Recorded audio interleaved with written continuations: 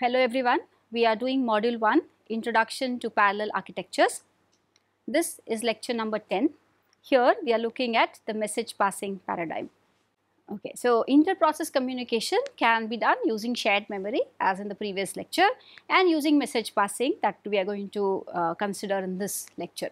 So what is message passing? Sending a message from one processor to the other and this is not directly possible for the processor to do without the help of the operating system and the compiler because the compiler or the libraries and the OS help or give APIs which uh, enable the process to talk to another process in the form of sending messages. So, this is similar to sending a letter to your friend. So, if you are sending a letter, first you write a letter, put it in an envelope and then send it across some medium to your friend but along with that on the envelope you need to write down the address of the receiver. So this whole thing has to be done and the process is need not do it itself so it takes help from the OS and the library calls for the actual implementation of message passing. And what is the interconnect here? Uh, any generic global interconnect or the local interconnect. But the there is a tight banding, uh, sorry, there is a tight uh, integration between the sender and the receiver because this is not a generic computer to computer interconnect but it is a processor to processor interconnect. Hence there is a tight integration uh, available or required for this type of communication. What are the user level uh, instructions? Simple send and receive calls. Okay. So, a tight integration because it is a processor to processor communication and then uh, done using send and receive system calls. So, let us look at send and receive calls. Send as the word says I am going to send but what are we sending? We are going to send data from where? From a buffer in the process's local address space. So, this is a process in its local address space there is some data. So, this data in my buffer local buffer has to be transmitted. Now, transmitted to whom that is the receiving process's ID. So, we need to tell the ID of that process and mostly this process is on a remote processor. Okay. So, the send is going to send content of a local buffer to a destination process ID and the matching uh, end is a receive where the receiving process has to receive something from a sender process. So, it should know that it is going to receive from so and so process that is the process ID has to be known and with the receive system call it also has to give a location in its local memory to store the data. Okay. So, send uh, if I repeat you have to have a local buffer which has to be transmitted and then to whom. Similarly, receive has to specify the sending process and a local buffer into which I am going to collect the received data item.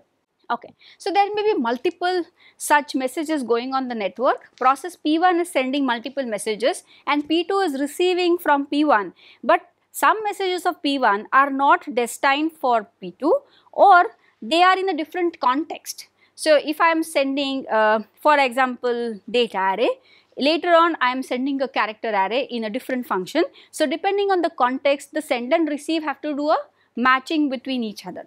Hence every message needs a tag associated so that we know that the send which is happening is matched with a corresponding receive and hence each of them has an associated identifier or a tag with it.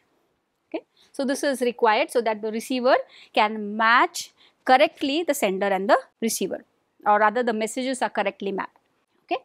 So, combination of the send and a matching receive. So, we need a matching receive. This is equally important. This will accomplish a pairwise synchronization between the two. So, these two processes are now pairwise synchronized with each other. And what happens at the end of the synchronization?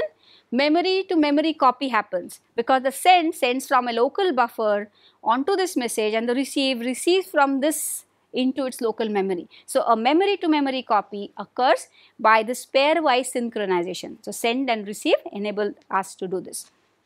Okay. So, here I have uh, depicted a process P. It has the its local address space. Everything is local. There is no shared address space here and the pink portion is the data it wants to send to the process Q. And so, the method used is it uses the system call send and it says I am sending the variable x. So, this is the data. Okay, data means address of the data. So, this is address of the data here whatever data is stored to whom this is to whom so this goes to process Q and this is some tag that is the identifier so when it executes this it goes over the interconnect and reaches here so process Q also executes a receive call it has to execute a receive call otherwise this cannot be completed what does it say? It says the local buffer into which it is going to receive the data item. So, it says this is my bucket inside this come and pour your data. So, that is uh, the bucket inside which the data will come here and who is sending it? So, this is P. So, receive this data only from P and nobody else. So, sender and the tags match okay and then compare the tag. So, the sending tag and the receiving tag should match and uh, the data from process P gets copied into the address space of process Q. Okay, so that was a basic example. Now we need to worry about synchronization. Now what is synchronization? There are two processes P and Q talking with each other and a tight synchronization means a send of P should match to the receive of Q. Alright, so if I am sending suppose I am sending this pen from here to there, if I just throw this pen, what will happen to it if there is nobody to catch it? it will fall down essentially this message will get lost. So what is it? I am throwing an object and I need the receiver to catch that object.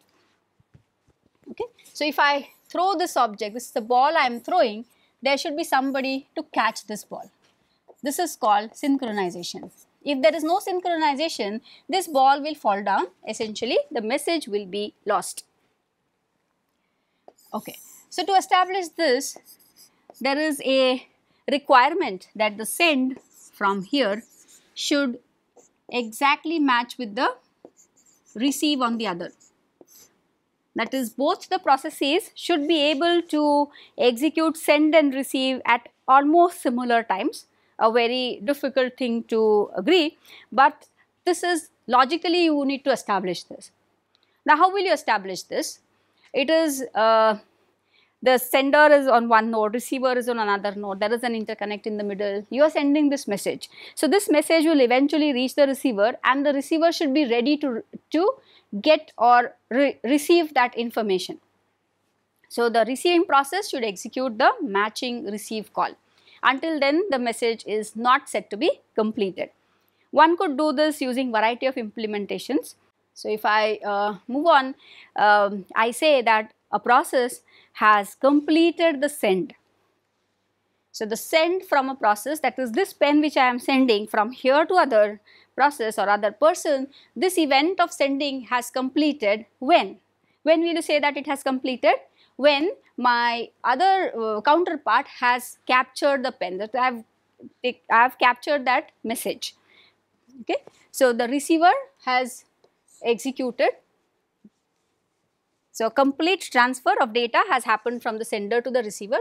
The second is the send buffer from the receiver is now available to be reused because the process P was sending a variable x and when it says that I have sent that variable x now this location is free to be reused or replenished with a newer value. So, send will complete under all these circumstances that the receive has completed. My sending buffer is now available for reuse and when is the request accepted. So, depending on the semantics we can say that this is the type of synchronization I am expecting between send and receive. Similarly, for the receive, when do I say that the receive has completed? When uh, it should match with a send message, right? You cannot receive nothing. So, you need to receive something which somebody is sending. Hence, we need to wait for a matching send to occur. So, matching send must occur to a, for a receive to complete and then the other option is if the process is busy and it can afford to wait for some time it could say that I will simply post the receive that is I will say that I want to receive this and parallelly I am able to do something else. Okay, so depending on the facility or your design, you can have different ways of synchronization. and every variant has got different semantics and different implementations. So, you need to fix what is your semantics and accordingly go for implementation. Message passing has been there earlier, it was used in more formal languages like CSP communicating sequential processes. This has been using the send receive synchronized, a tightly synchronized uh, way of uh, communication. Then Occam and uh, OS functions like the socket functions have been using send and receive based synchronization. In uh, such systems, the parallel programs which are talking to each other are very well structured because most of the time they are doing the same work because uh, we will only send and receive information when we are executing almost similar code. So, they are executing almost same amount of works, working on similar data items and the ID that is the process ID for sending and receiving is also kind of known because you have process 0 to process 10 and so you know the process IDs before you can begin. So, at runtime there is no worry to find out who is the receiver process ID. Okay. So, such parallel systems are very well structured. So, hence the synchronization becomes uh, possible and doable. Okay. So, what were the methods of doing this earlier? So, we are worrying about synchronization, when does, when does send finish, when does receive finish, how is it implemented. So, one way of implementing it is a FIFO. If I go back to my diagram, how do I do this? I am throwing the ball in the air and somebody else is going to catch it. But if there is nobody to catch or it is going to take more time or the interconnect is so far that I cannot throw from one end to the other in one go, it has to go through a channel. Okay? So, I need to establish a channel here right. So, this is a person who has to establish a channel. So, the ball goes inside this channel and then eventually this person is going to catch it. So, this is nothing but a FIFO because the messages should go in the order they entered. So, that is the first in first out method which was implemented earlier. For a FIFO based implementation as you understand the network has to be point to point because this channel which we drew is a fixed channel from one node to the other node. It does not take a detour, it does not go via any other nodes. It is a fixed point to point network for implementing FIFO. Okay, so we have been uh, using FIFO to send the data. Here the network topology is important because there has to be a direct connection. The sender writes the data item into a link or the, into the FIFO and the receiver reads from that FIFO. FIFOs cannot be very long because if you have more storage, it is going to take more hardware real estate more time and so on. So, the FIFOs are normally having lesser buffer space and if this buffer space becomes full, the sender has to wait until the receiver has consumed all the data items. Okay, so FIFOs are small, hence the senders will block after the uh, buffer space finishes and hence this is called a synchronous message passing. So, synchronous message passing because the sender will block when the buffer space finishes. So there is a limitation that you can't have a lot of pending messages to be sent. Okay, so to uh, improve on this, the earlier methods also use DMA. Okay, so before that, let us quickly see how a FIFO is implemented. Here between P and Q, this is one channel to send. So you can pack some number of balls inside this which will be received and here similarly some items here. Okay, so this is this way. So, there is a one directional FIFO from P to Q and another direction opposite direction FIFO from Q to P. So, that is between two processes. Okay. So, here the network is point to point. Okay, it's a P2P network.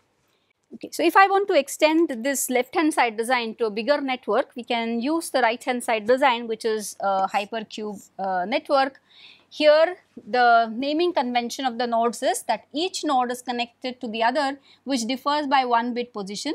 So, this if you see this one the bit position this one and this one. These bit positions are different. Similarly, when this gets connected to that the MSB bit is changing. This connected to this the bit number from the LSB side bit 0 and bit 1. Okay, so this is how they are connected and there is a direct link between them. So this is the link on which the FIFO can be implemented.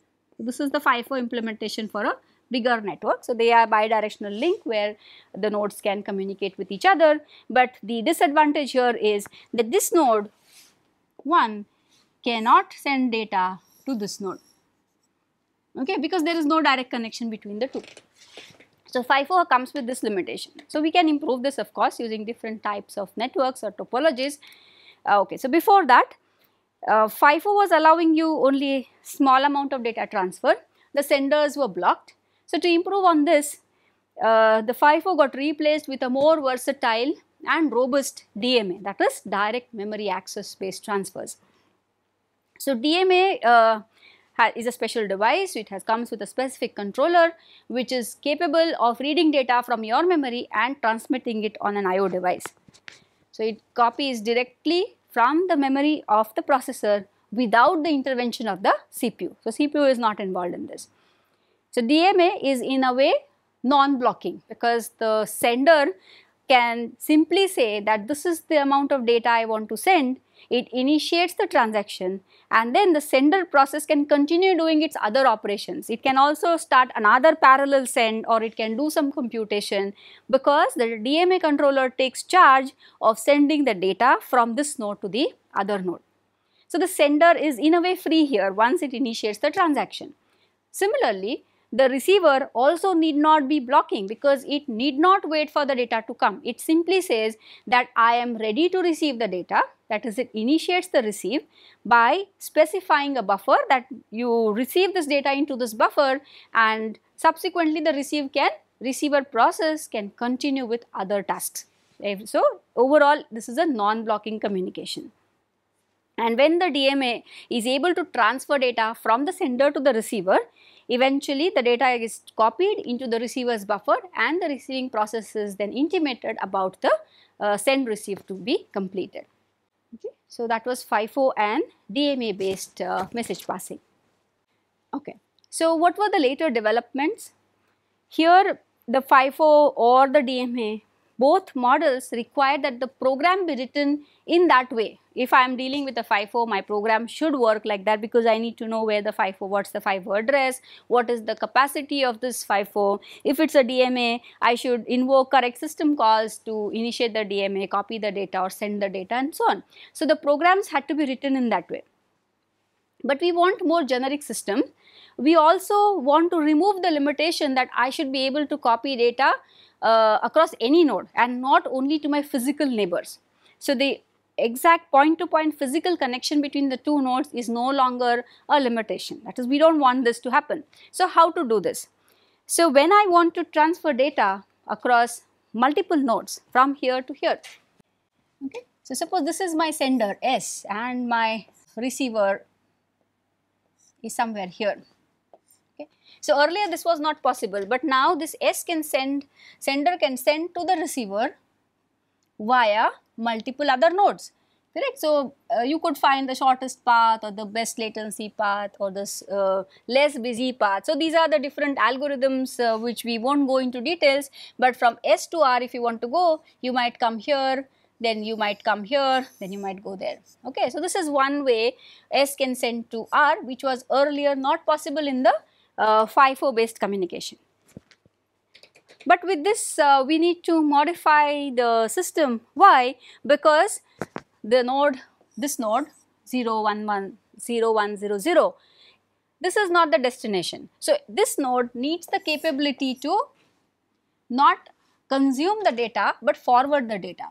So, it should be able to forward the data and not eat it itself, right. So, this is called a store and forward based communication. So, this intermediate node should be able to store the information and also forward it if that is not the destination.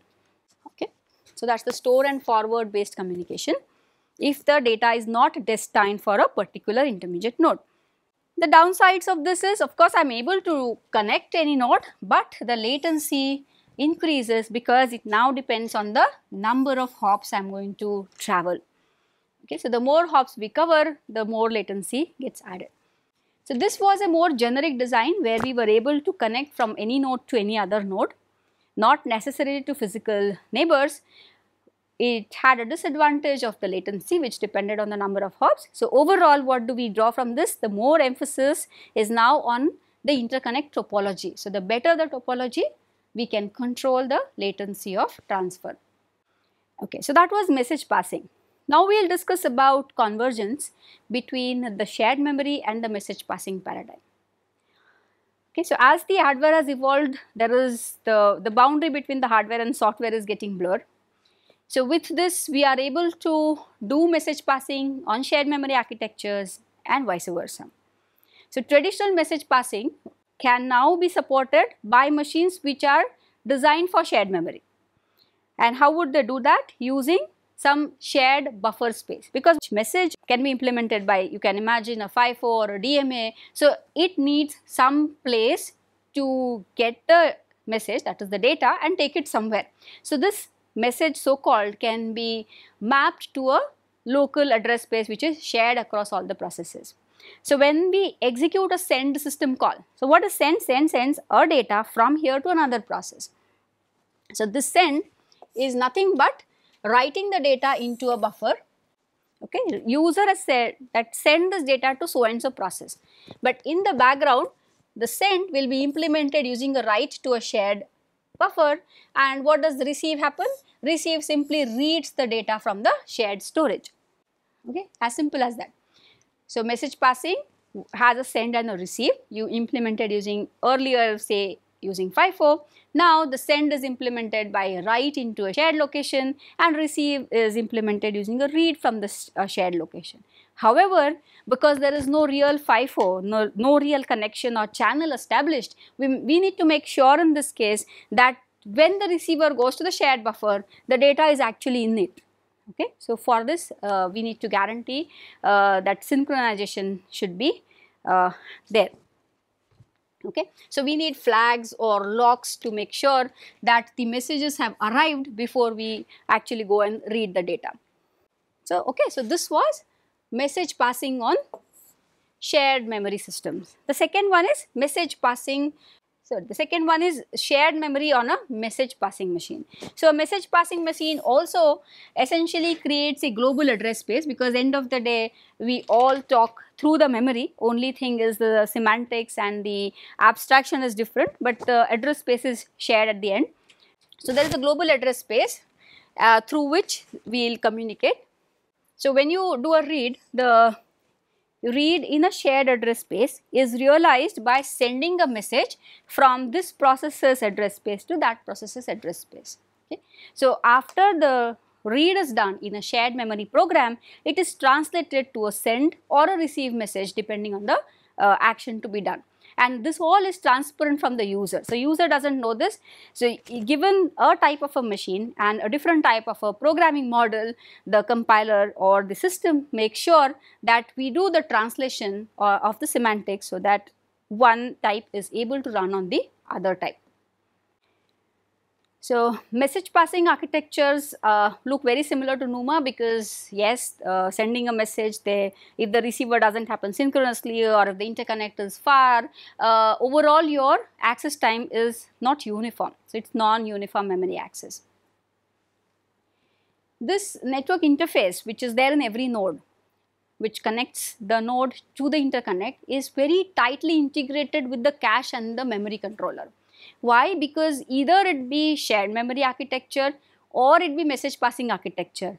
End of the day, the interconnect, either the send call or the load store, they need to copy the data from the interconnect to the memory. So, there has to be a tight integration between the network interface and either the cache or the main memory controller. Right. So, what does this network uh, interface which is tightly integrated do, it is able to observe the cache misses because it is so close to the cache and the memory controller that it observes the cache misses and if this cache miss needs to be served from a remote node for example, then it has to generate a network transaction to reach the remote node and execute the read or write of the data. And similarly, in a message passing architecture, when the message is coming, uh, is being sent or being received, we are essentially carrying data and bringing data. Now, this brought in data needs to be stored in the local memory and the network interface should also be able to read from the local memory. Okay. So, there uh, this IO device is tightly connected to the memory system so that the data can be directly transferred from the user's address space to the network. Okay. So, overall if you see that the large scale that is NUMA based or distributed based shared memory systems are ultimately message passing because within a node you could do local read write and load stores but when you need to communicate or read write data to a remote node you have to go through the interconnect and going over the interconnect would read would require some type of a message passing. So overall it is a mixture local nodes do can easily do load stores but remote nodes would require uh, message level transactions to get implemented alright. So convergence is happening between message passing and shared memory. If you scale it up you can have multiple such nodes or clusters of machines interconnected with each other so that we can big, build bigger and bigger systems with this convergence. We are talking of say 10 nodes talking with each other using either method, but I can pack these 10 nodes into one cluster and connect several such clusters over, over a good interconnect and have a bigger, bigger system design, okay, using more better interconnects, okay.